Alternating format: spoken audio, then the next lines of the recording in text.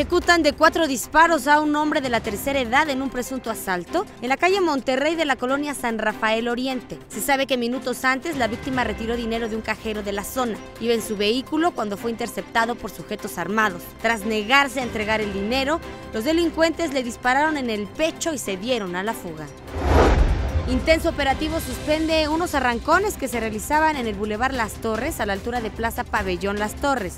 Participaban decenas de autos tuneados y deportivos de gama alta, además de motocicletas deportivas. Decenas de automovilistas se concentraron en el lugar, pero poco les duró el gusto porque fueron sorprendidos por un operativo implementado por la Secretaría de Seguridad Ciudadana del municipio de Puebla. Ante esto, los asistentes a estas prácticas ilegales se escondieron en el estacionamiento subterráneo de la plaza para evitar ser detenidos y ahí continuó el espectáculo de autos. Hombres, mujeres y hasta niños estuvieron por varios minutos encerrados hasta que poco a poco comenzaron a retirarse del lugar. Por su parte, agentes de vialidad de San Andrés Cholula, en coordinación con policías estatales, implementaron el operativo Correcaminos en varios puntos del municipio para inhibir arrancones ilegales de autos y prevenir accidentes viales. Hasta el momento se desconoce si hubo detenidos.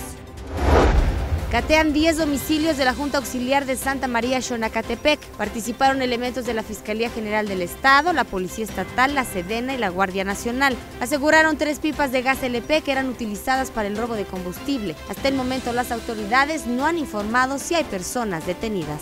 Si te gusta este video, dale like y suscríbete al canal de Juan Carlos Valerio.